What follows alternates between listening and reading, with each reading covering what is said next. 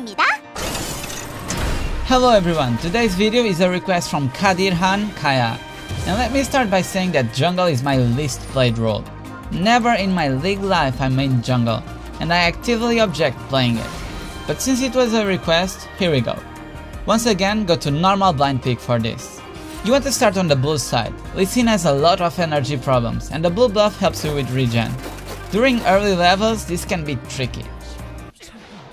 But don't worry, try to clear the small camps to level up.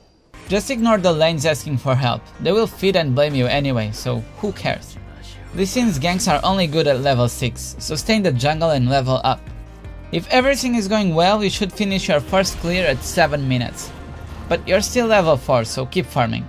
When you finally reach level 6, it's time to gank. Your ulti is a point and click free kill, so use it. Farming the jungle is hard, farming minions isn't. So make sure you text the lanes. This is a team game after all. There's a simple rule when it comes to ganks. If your ulti is up, you gank, if it isn't, you farm. The best Lee Sin players time the cooldown to be up right on the moment you arrive to gank.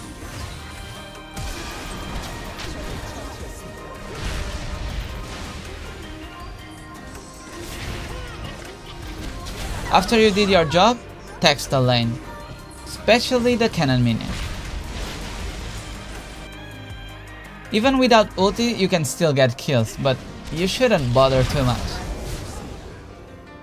For a build, I recommend focusing on attack damage.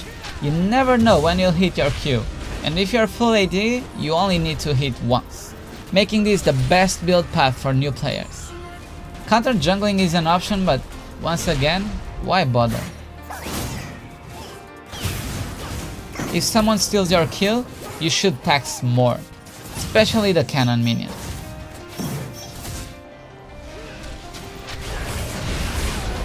Another good rule is, if you don't know what you're doing, don't do it. Pay attention to your surroundings, there might be kills 1 Q away. At this point, you shouldn't worry about farming too much, just try to keep constant pressure on the map. There's not a lot to talk about teamfights, just you have to engage and kill them. Hit 1 Q per enemy and it should be enough.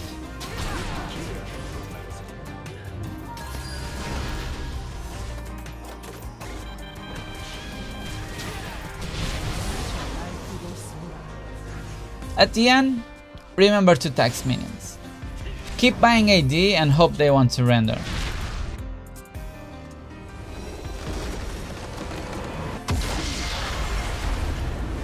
So basically aim for around 14 kills, 3 deaths, tax a lot of minions, have the most damage dealt and taken from the game, and should be it. Ward if you feel like it or take Dragon. If you want to take your Sin to the next level, check this rush guide. Thank you for watching and good luck on the fields of justice.